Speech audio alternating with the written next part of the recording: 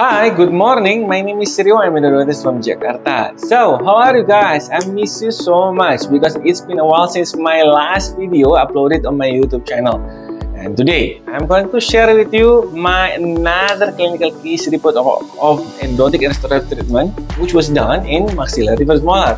So what's so special about this particular video is that I put my way of searching and finding the finding the MB2 canal in maxillary first molar. I use the ultrasonic approach and then I do proper glide path management uh, up to uh, the final file using 25 and 6% taper file. So um, I hope that this video is useful for you, particularly when you are dealing with such cases. And this video is supposed to be used as educational purpose only. And this uh, uh, this case was done in two visits uh, at the first visit, I do all the single visit endodontic treatment, and in the second visit, I managed to do the restorative part. So, thanks for watching. Thank you very much for also subscribing to my YouTube channel. Stay healthy, stay super, stay awesome, and stay with me in this YouTube channel. Thank you very much. Assalamualaikum warahmatullahi wabarakatuh. Bye-bye.